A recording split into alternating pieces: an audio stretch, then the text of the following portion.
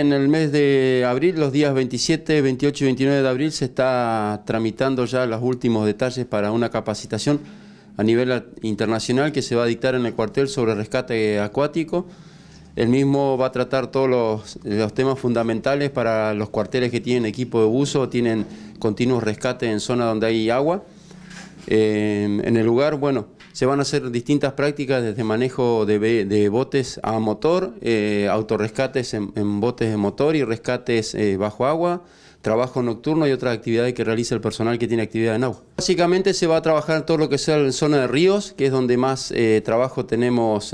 bueno, lo que tenga que ver la gente de uso de bomberos de Teleo, mucho trabajo en, en el sector del río nuestro. Se va a hacer todo lo que sea maniobra y búsqueda sobre las partes de de sectores de río, no tanto sobre el mar, por no, no, cuestiones de no jurisdicción de, bomberos, pero en todo el sector del río Chubut y alguna zona del sector del Elsa, donde se van a hacer distintas maniobras con embarcaciones, en las cuales bueno, se necesita un lugar amplio, como el sector del Elsa, para que se puedan desarrollar las actividades con los botes. Van a venir dos instructores del sector de Chile, los cuales van a estar una semana acá en, el, en la ciudad de Trelew dictando esta capacitación. En, en, las mismas ya bueno, tenemos reserva de gente del sector de Venezuela, de Perú, Bolivia, gente de Chile, Brasil, eh, México y algunos cuarteles también de, de, Argentina y la mayoría de los cuarteles de la zona nuestra de Chubut.